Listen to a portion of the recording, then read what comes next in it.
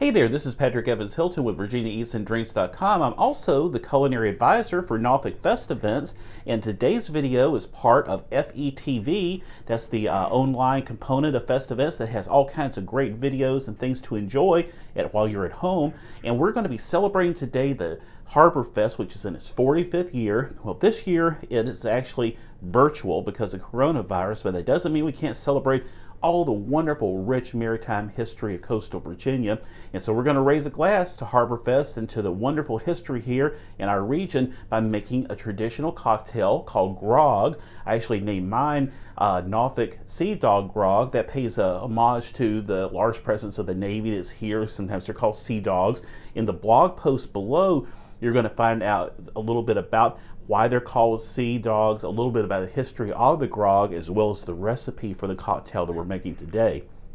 So, if you're having a family gathering, uh, you know, anytime over the next couple of days or anytime over the summer, you can make this and enjoy it outside on your outdoor patio along with a couple of other dishes. We've got more videos that promote uh, Festevents, uh, the Harborfest, along with um, along with FETV. And we're doing a, a classic crab dip. You can see the video there. And we also have a recipe for a fried oyster po' boy too, which I think this drink would be perfect with. So why don't we go ahead and get started. I've already got a shaker with some ice in it.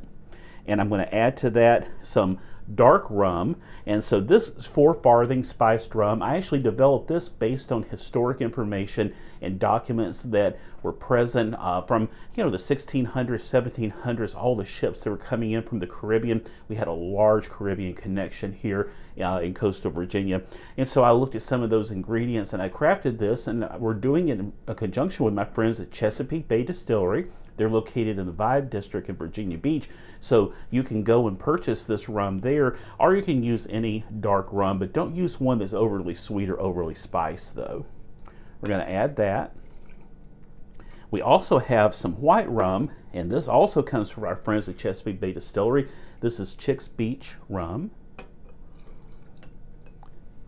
We want to sweeten everything up, so I made a honey simple syrup, and it is very simple. It's just one part honey, one part water. You bring it to a boil, you let it, uh, you stir it, you let it reduce a little bit, and then you chill it, and then you have this wonderful syrup that can flavor things instead of putting sugar in and hoping that it dissolves when you stir it up. So we're going to add that honey simple syrup.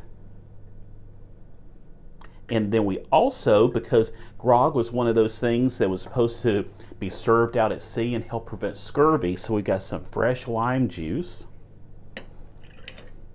You know, we don't have to worry about scurvy today, so we're very lucky from that standpoint.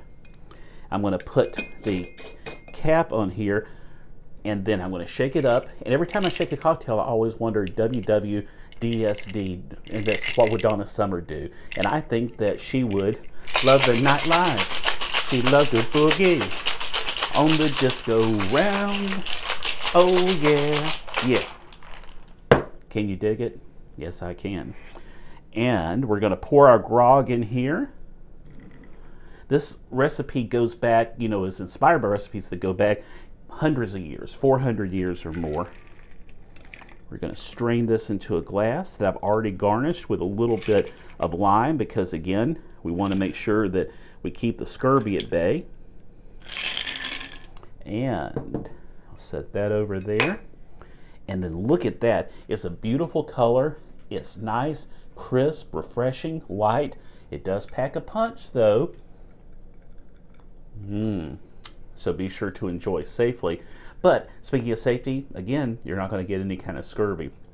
So our Norfolk Sea Dog Grog in honor of Norfolk Festevents 45th year here, virtual virtual this year because of due coronavirus. Look for information on festevents.org for this and more of their wonderful programming. Also check out my website, virginiaeatsanddrinks.com for all the information that you need for today's cocktail and be sure to join all the fun on our Facebook group, which is very interactive at facebook.com slash group slash Virginia and Drinks. And R, cheers to you.